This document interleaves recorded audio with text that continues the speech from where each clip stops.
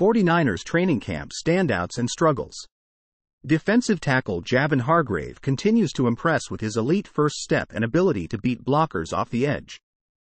He frequently disrupted the offense in one on ones and 11 on 11 drills. Rookie DT Kalia Davis also won matchups against starting center Jake Brendel, using excellent leverage. However, DT Arik Armstead has struggled to make impact plays so far in camp. He tipped a potential interception to himself during practice but dropped it, leading him to do push ups on the field as self punishment. At defensive end, Nick Bosa remains the clear number one, but the depth behind him is concerning.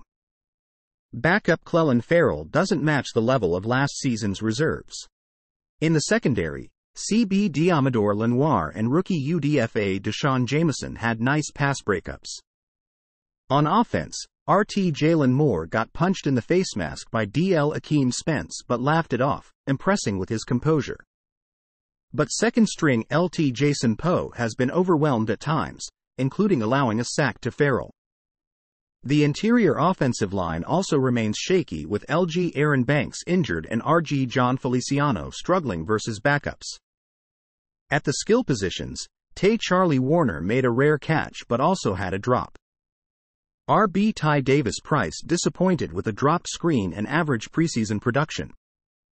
And the quarterback competition between Trey Lance and Sam Darnold remains wide open, with coach Kyle Shanahan unwilling to name a QB2.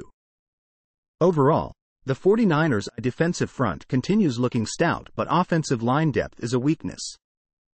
The battles for backup spots will be competitive as Shanahan seeks improvement heading towards the regular season.